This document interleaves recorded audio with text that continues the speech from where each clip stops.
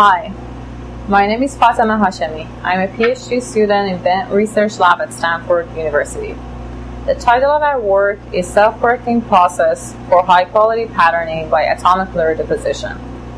The goal of this study is to find a process which helps improving and facilitating high quality patterning in nanoscale.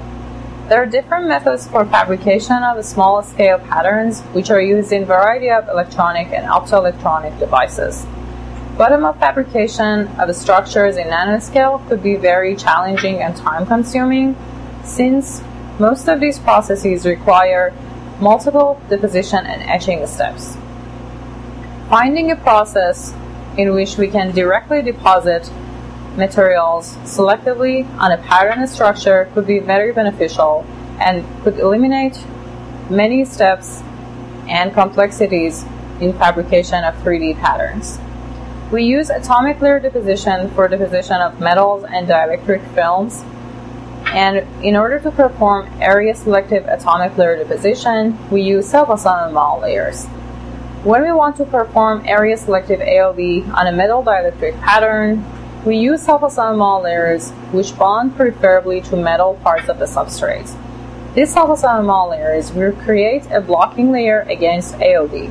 And when we perform ALD, the areas that have been blocked using self-assembly layers are going to be blocked against ALD, and the ALD is going to be deposited only on the dielectric parts of the pattern. However, this process could not always be perfect.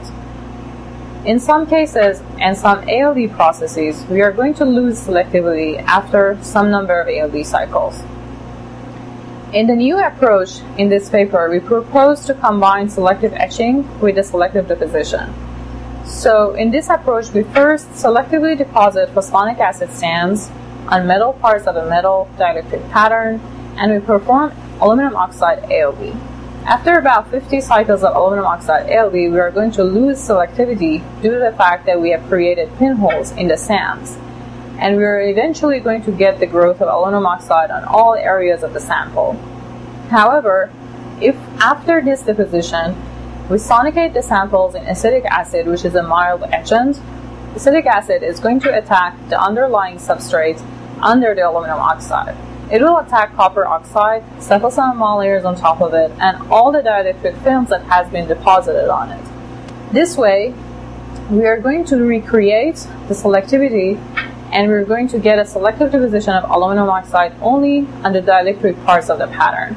We show that using this approach, we are going to get more than 10 times thicker films deposited selectively on dielectric parts of the pattern.